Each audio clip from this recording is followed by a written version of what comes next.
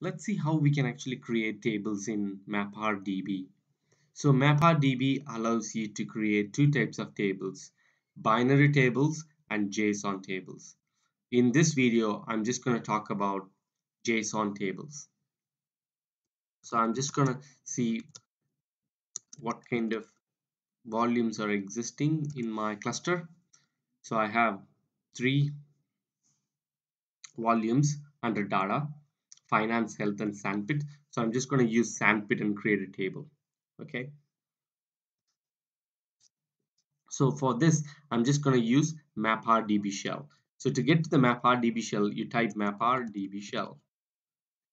And then it takes you to the MapRDB shell. So to create a table, a JSON table, so you have to type a command called create and then you have to give a path. So I'm just gonna say slash data slash sandpit slash user. So so user is the name of my table. So I'm just gonna say um, user. So I'm just gonna say users okay? So it says table. So once you done that command it actually creates a table for you. Then how do you actually insert records into this table. So you type insert. So this is the table you want data to be inserted and then minus minus ID. So here you have the ID is a primary key. So here I am mm, going to give one and then what are the values that you want to insert for example I just want to insert name.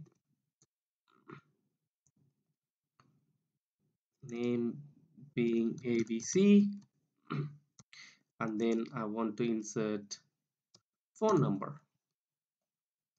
This is being number. I'm just gonna say 1 2 3 4 5 and then oops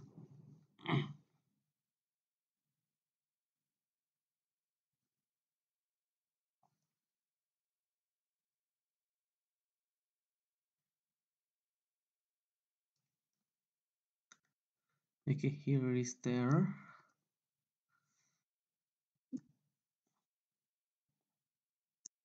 So right now one record has been inserted.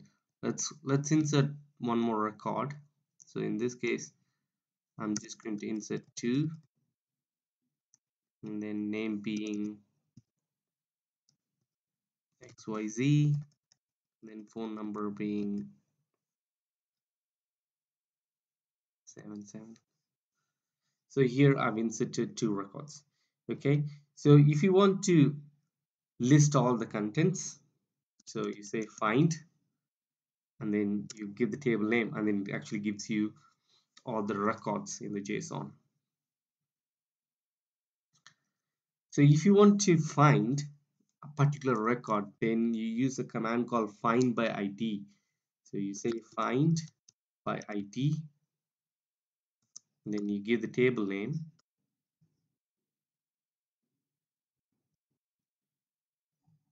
And then you specify the ID